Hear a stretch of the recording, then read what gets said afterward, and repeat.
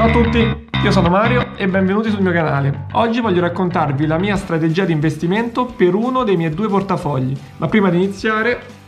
Questo è il disclaimer. Le mie strategie di investimento sono scelte personali, e personali significa adatte solo e soltanto alla mia situazione finanziaria, ma personali significa anche che non posso essere sicuro a priori che le mie scelte di investimento si trasformeranno in un guadagno certo. L'unica certezza che ho, al contrario, è che non potranno mai essere le scelte migliori possibili. Ci sarà sempre qualcosa di meglio da comprare ed un momento migliore per vendere. Non prendetelo come un consiglio di investimento dato che non lo è, ma fate le vostre analisi e riflessioni prima di prendere ogni singola decisione. Bene, ora possiamo iniziare. Sto parlando del mio portafoglio numero 1, long term, che ovviamente ho ribattezzato così perché si tratta di un portafoglio di lunghissimo periodo. Vi starete chiedendo ovviamente, Mario, ma lungo quanto?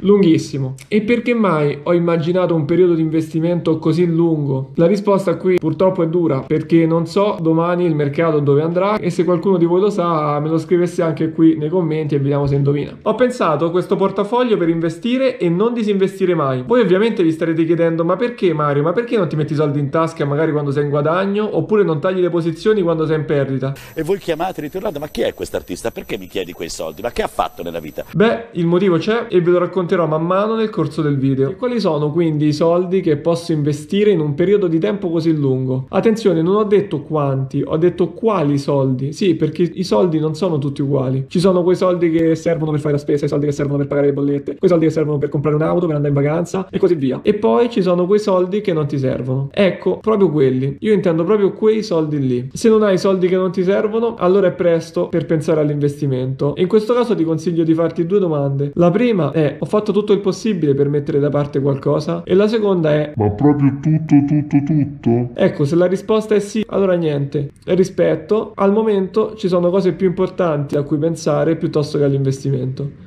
Tornando a noi quindi, perché proprio quelli? Perché solamente quelli? Perché, come dicevo all'inizio, questo portafoglio è pensato per investire e non disinvestire mai. E quindi va da sé che dovrà contenere solamente soldi che sono sicuro che in futuro non mi serviranno. Ve lo dico subito, fermi tutti, se pensate di trovare formule magiche, formule segrete che vi faranno guadagnare in poco tempo e senza fatica, bene, bloccate il video e cambiate canale. Se siete rimasti ancora qui, allora andiamo avanti. Regola numero 1. Non avere paura. Qui si apre un mondo, ma fidate fidatevi, la paura è il primo nemico dell'investimento, cioè ci fa fare scelte sbagliate, scelte avventate, un casino, ci fa comprare quando dovremmo vendere, vendere quando dovremmo comprare, cioè un casino. E se vi state chiedendo come fate a sapere se questa scelta fa per voi, come fate a sapere se avete veramente paura, vi aiuto io con un esempio. Provate ad immaginare per un attimo di avere 100.000 euro, che già insomma non è male. Immaginate di averli investiti tutti nel mercato azionario, una mattina vi svegliate e vedete un bel segno meno meno 50%. Che fate? Come reagite? Che fate? Come reagite? Che fate? Come reagite?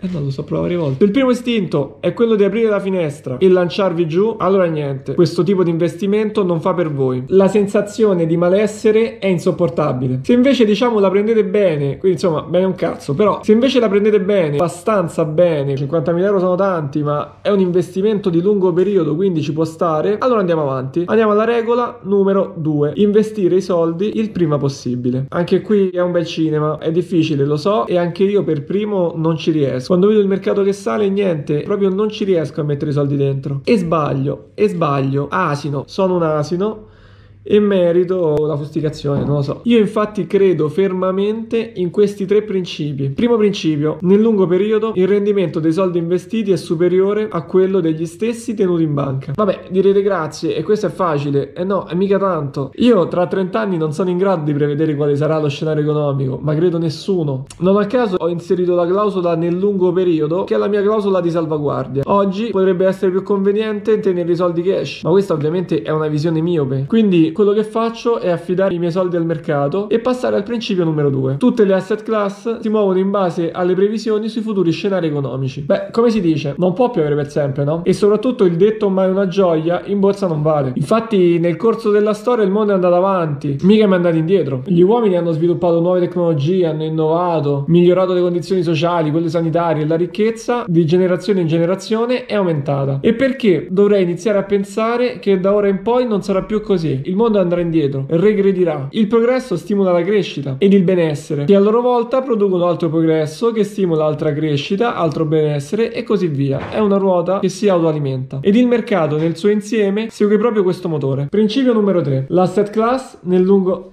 E l'ho risbagliato, sono co...